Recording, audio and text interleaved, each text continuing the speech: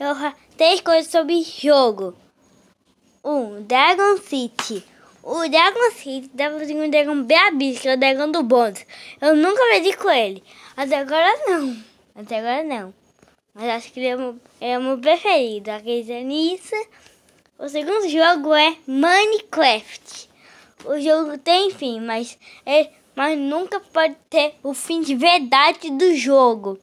Ninguém consegue só se alguém derrotar o Herobrine, o bicho mais forte do jogo ou o Ori junto.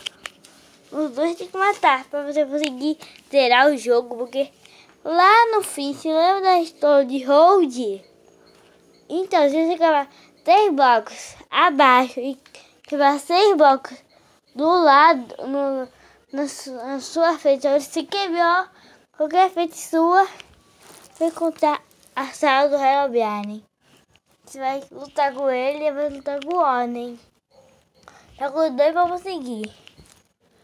O último é Roblox e nunca tem fim. Em todos os jogos é um aplicativo, eu acho.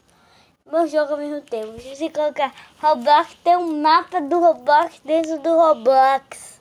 Que loucura, não é?